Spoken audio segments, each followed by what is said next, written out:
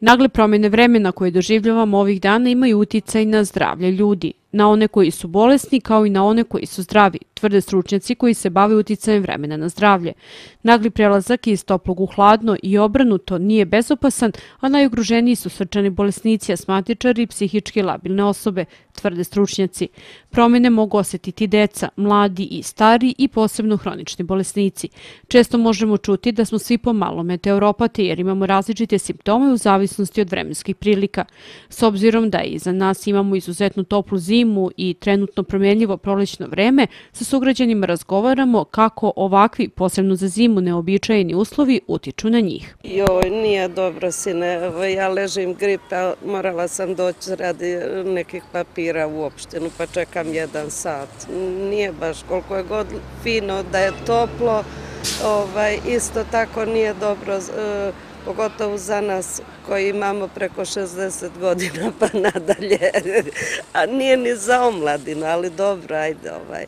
osjeća se malaksalost, gubljenje snage. Ja sam malo i promukla, kašalj vlada veliki. Dok se ne odleži u krevetu, ništa ne pomaže. Ni inekcije, ni lekov. Ne treba na pamet ništa sem čaja, ni piti ja sam pobornik toga da je lekar lekar, pa šta prepiše. A cijela zima koja ovako da kažemo više bilo toplih dana nego pravi zim? Više, više je bilo ovaj, toplih dana nego hladni, smanjeni ogrev što je mnogo dobro. Polazim od svog kućnog budžeta pa nadalje. Mislim, a zdravlje malo oronulo. Meni ne prijani ni lepo, ni loše doba kad me boli kičma. Za zdravlje nije, pogotovo u meni. Ja imam ovaj asmu, brohitis i e, nemam štitnu žlezdu. Ovo nije baš ni najmanje dobro za nas starije sad. Verovatno mi smo malo i otporniji, vi mlađi se pričuvajte. A što se tiče same zime, veći broj je bio topli dana, sunčani. Pa jeste, ali Valjevo je u kotlini i ovaj smog to smeta svima nama.